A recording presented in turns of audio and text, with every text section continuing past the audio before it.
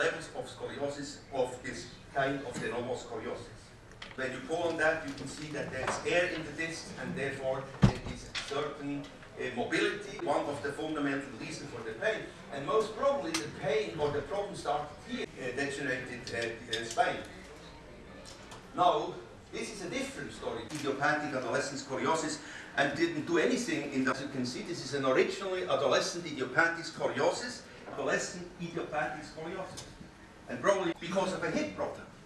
As you can see here, this is a patient with an arthrodesis. This was a secondary degeneration, and we have, of course, hip problems, this spine, with secondary de- de- degeneration and therefore becoming painful. erişkin e, omurga eğrilikleri konu. E, ve şu an içeride yaklaşık e, 13-14 tane farklı ülkeden gelen katılımcı var. E, konuşmacılar içinden de 7-8 tane farklı ülkeden e, konuşmacılarımız var. Toplantının önemi şu, e, Türkiye'deki e, cerrahlarla birlikte yurt dışındaki cerrahlar ve konusunda söz sahibi cerrahlar bir arada. Ve konuştuğumuz şey e, erişkin dönemde yani özellikle 40 yaşın üzerinde e, daha çok e, yaşlı grubu diyebileceğimiz hastalarda gördüğümüz omurga eğriliklerini konuşuyoruz. E, tanısı nasıl konur, semptomları nelerdir, e, tedavi yöntemleri nelerdir, cerrahi olarak neler yapılabilir ve e, cerrahi yöntemlerinde son gelişmeler nelerdir? İçeride şu an onlar konuşuluyor. Omurganın e, kemikleri arasında kıkırdağın asimetrik yani simetrik olmayan e, yaşlanmasıyla birlikte başlıyor her şey.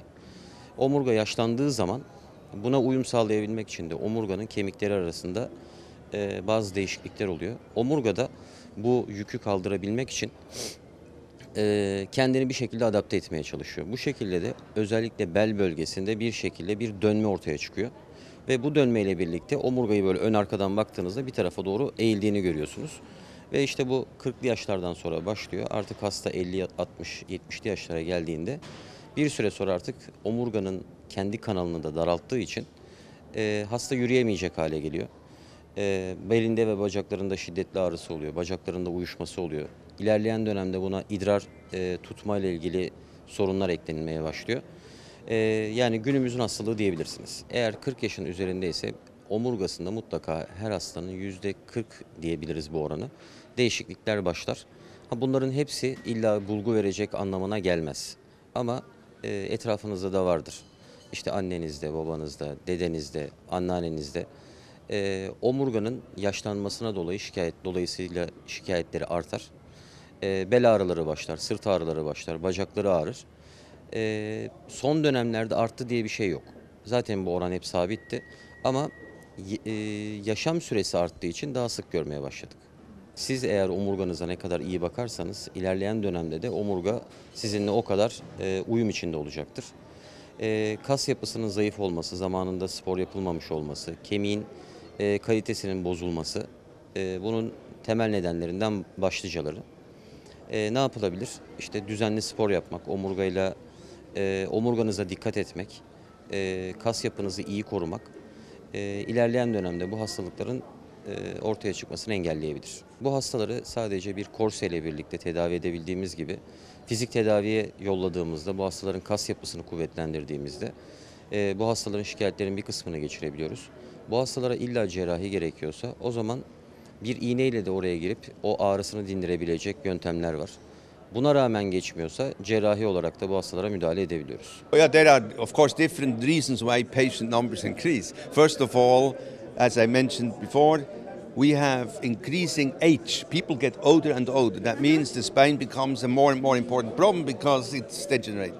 That's number one. Number two is that you can offer better treatment. So patients come because they see an opportunity for a treatment before they said oh now you have to do physiotherapy or you have just to suffer today we can offer certain treatments you know which were not possible Uh, the topic of uh, deformity in, uh, in uh, adults in a degenerative spine is a very challenging uh, topic and which is rising with evolving technology. And here we have a good, uh, good meeting to, uh, with international uh, collaboration uh, to uh, speak about the state of the art on that. And uh, uh, actually, I, I, it's what I already told the uh, level uh, of the Turkish uh, uh, surgery here in this uh, field is now high in international way, and we have very nice exchanges on the topic. Spine surgery is evolving in, in different aspects. One is treating the elderly because population is getting uh, more and more elderly, and we need to uh, operate on patient that exceeds 80 years old. So technology is um, designed for such a purpose. At the same time, also we have to think about uh, comfort of the patients and the medico-economical issue.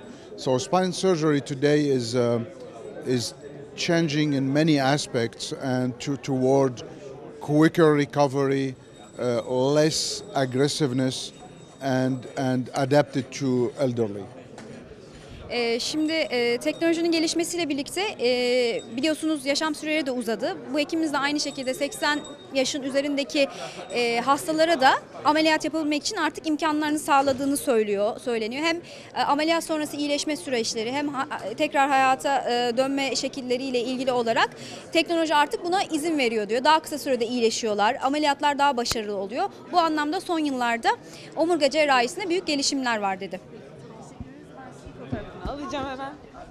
Patient will have a different treatment than what we usually do here.